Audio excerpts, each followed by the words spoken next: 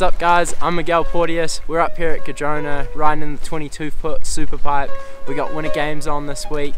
I'm to teach you some tricks and tips and give you a behind the scenes look at how I ride pipe.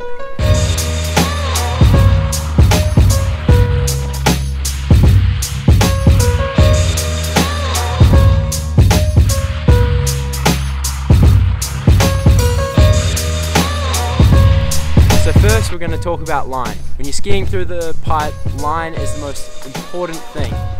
So we're going to have a really, really steady line. We're not going to cut down the pipe or up the pipe. We're going to ski straight across from where we land and go straight up the wall into our head. An alley-oop 2 is the perfect place to start once you've mastered the straight air. To do an alley-oop 2, we're going to ride up the pipe and have a really good pop and rotate our shoulders towards the top of the pipe. We're going to spin a 180 degree rotation and then going back the other way. Once we've mastered the alley-oops, we can start moving on to more spins and flips.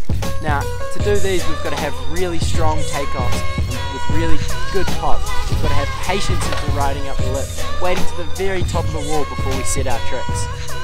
Now you've got a few tips and tricks on how to ski pipe, let's go take some laps.